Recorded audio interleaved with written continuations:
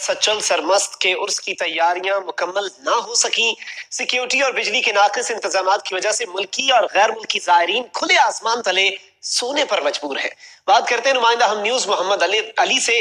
جی محمد علی، بتائیے گا کہ عرس کی سرکاری تقریبات کب شروع ہوں گی اور کون افتتاح کرے گا؟ جی بالکل، اس وقت میں خیرپور کے گاؤں جو ہے درازہ شریف میں موجود ہوں۔ یہاں پہ حضرت سچل سرمست ہفتے زباں شاعر کا جو ہے، ایک سو اٹھانوے عرس مبارک کی جو ہے، صبح آٹھ بجے غیر سرکاری رسمات جو ہیں، یہاں پہ ادا کی جائے گی۔ جس کا تقریبات کا جو ہے، افتتاح یہاں کے سجادہ نشین خواجہ عبدالحق کریں گے۔ مزار کو جو ہے، غسل دیا جائے گا ارک گلاب سے اور پھولوں کی چادر چڑھا کے جو ہے، غیر سرکاری رسمات یہاں پہ ادا کی جائے گی۔ میں آپ کو بتاتا چلوں کہ چودہ رمضان المبارک کو یہاں پہ سی ایم سندھ کا جو ہے متوقع پروگرام ہے۔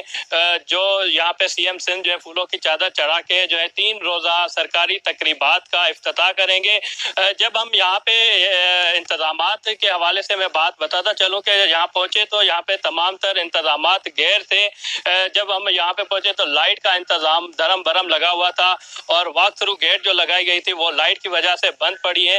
اور سی سی ٹی وی جو ستائیس کیمرہ یہاں پہ نصب کی گئی ہے وہ بھی جو ہے بند پڑی ہے جس کے وجہ سے کوئی بھی ناخوشگوار واقعہ جو ہے پیش آ سکتا ہے۔ میں آپ کو یہ بھی بتاتا چلوں کہ ملک گیر سے تمام تر زائرین کے لیے کوئی بھی یہاں پہ کوئی انتظامات اچھے خاطر جو ہے نہیں کیے گئے اور یہ جو درگاہ کا آپ کو میں آپ کو دکھاتا چلوں کہ دروازہ جو ہے یہ فجر کے ٹائم جو ہے زائرین۔